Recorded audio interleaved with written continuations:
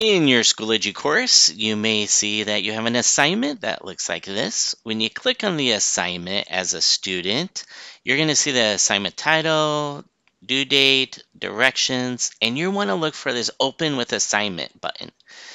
You also need this Kami extension right here. If you don't have that K up there in the top right corner in your Chrome web browser, this is the website you can install that on your student device.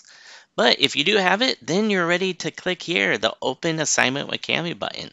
You're going to click that to get started with your assignment. And this is going to be a really great tool for you to interact with your digital lessons. So let me show you how this works. It might start up to ask you to add this to Google Drive or for you to sign in. You just sign in with your student ID at monet.k12.ca.us.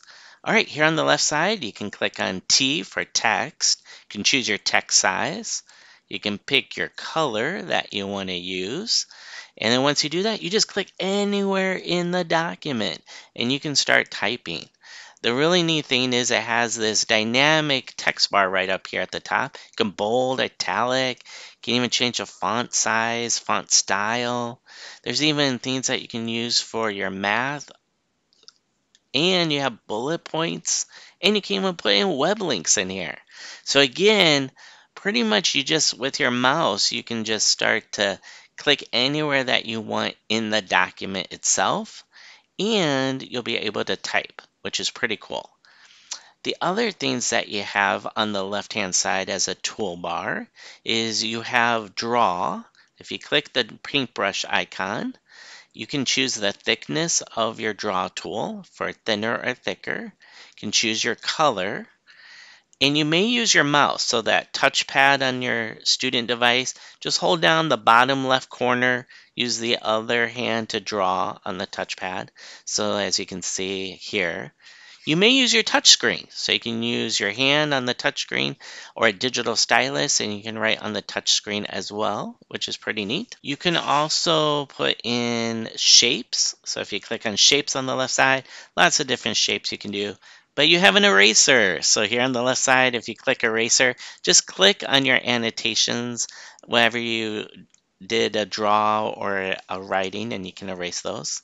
On the left-hand side, you have markup. That's like your highlighter. So the first tool here is highlighter. Choose your color.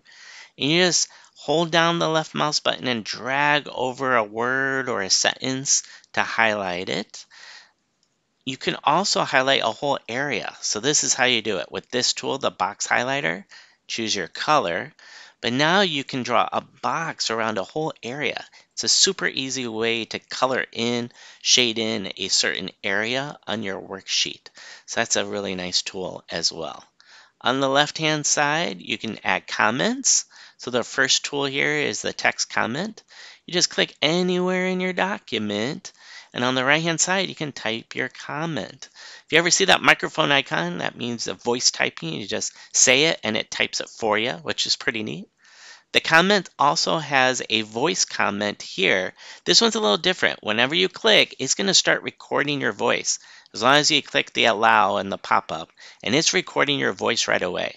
At the top is your settings in your web browser for your video or microphone. But remember, it's recording you right away. So press stop when you're done recording. And that's where you can uh, explain in your student voice. Video comment, you can add a video as well if you would like to this uh, worksheet, just click it and click anywhere on the document to record. You also have a dictionary. So one way to use a dictionary, I like to click on select text right here at the top, click my arrow, then select the dictionary. And then if you click on the word, a dictionary will pop up. It might take a moment, but you're going to see a definition pop up no matter what word that you click on. It's built in if you're wanting to know a little bit more meaning behind that. You also have text to speech on the left hand side. You can choose your language or voice. Click this button here. You may choose the different voice that you want to use.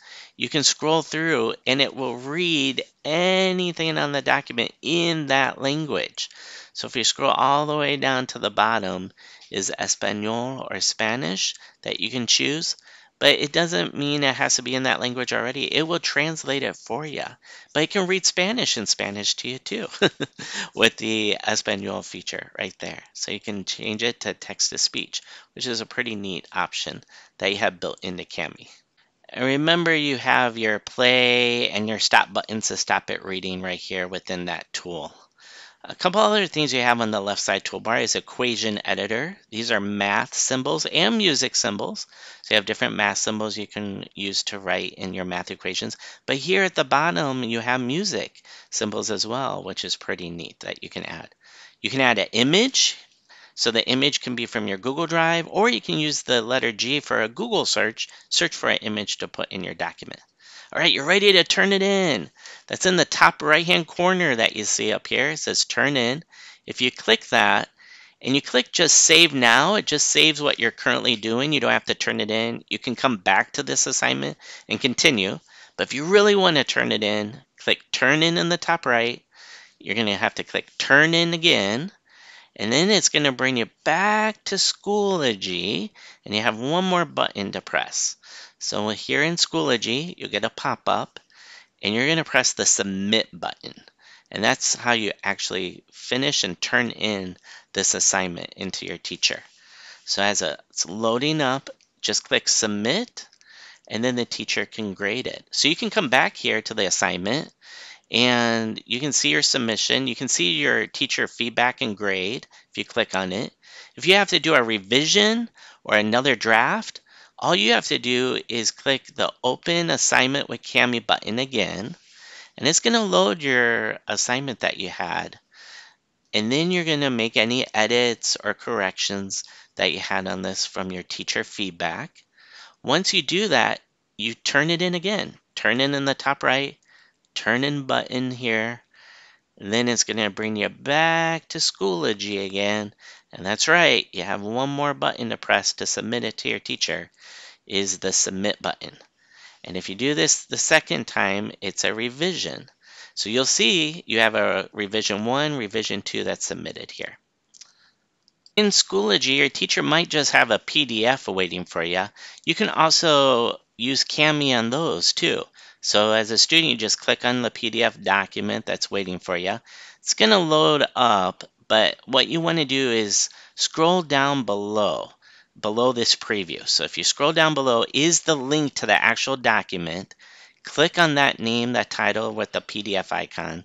When you do that, Kami will automatically load up on your device. And this is your own personal copy for you to take notes on, for you to annotate, type on, draw on. You may save it in the top right, click the Save button, and you're going to click Upload to your Google Drive. So that's how you can save this and keep it which is pretty nice. If you do that, the next time you come and open the document, it's going to remember any changes that you did. So this will be pretty neat. So let's say I'll do a highlight here, and I'll just highlight these couple of uh, squares in this model here and shade them. It will say save to drive. I'm going to click the save to drive to save it, uh, which will be nice to keep it. And then when you come back to Schoology, it will automatically have it for you. So let's say it's the next day, you click on that same PDF just sitting there in your Schoology course. Remember underneath that preview, so you'll have to scroll down below the preview itself, click on the actual document with the PDF icon.